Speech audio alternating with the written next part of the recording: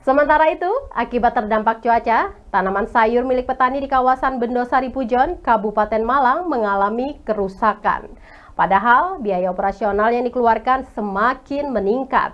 Para petani berharap harga jual bisa mengalami kenaikan kembali agar petani tidak mengalami kerugian. Banyak kendala dialami para petani saat ini ketika bertani sayuran. Tidak hanya akibat naiknya harga pupuk dan obat-obatan, selain itu juga terkendala cuaca serta harga jual panen yang sering tidak menggembirakan. Akibatnya para petani sering mengalami kerugian dibandingkan keuntungan.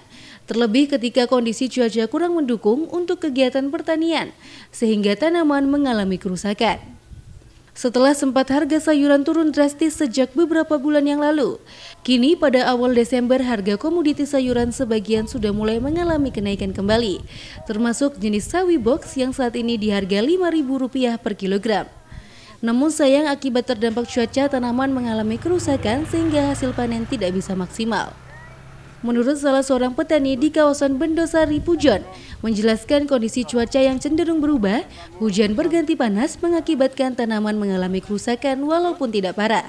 Sehingga hasil panen menurun baik volume maupun kualitas, walaupun harga jual sedang naik di kisaran 5 ribuan per kilogram. Dan harga bisa kembali mengalami kenaikan tergantung stok di pasar. Di kawasan lahan pertanian sayuran di wilayah Bendosari Pujon, terlihat sayuran jenis sawi putih pada bagian daun berwarna kuning kecoklatan. Hal ini diakibatkan kekurangan air pada waktu awal tanam. Petani mengaku dengan harga jual saat ini dipastikan modal sudah bisa kembali plus keuntungan. Pengaruh penghujan gimana ke hasil ya, tanamannya? Kalau hujan ya itu kambang bosok. Bosok Pak ya? Iya. Pak untuk harga sekarang sawi bok berapa? Lima ribu. Lima ribu berarti termasuk harga lumayan ya, ya.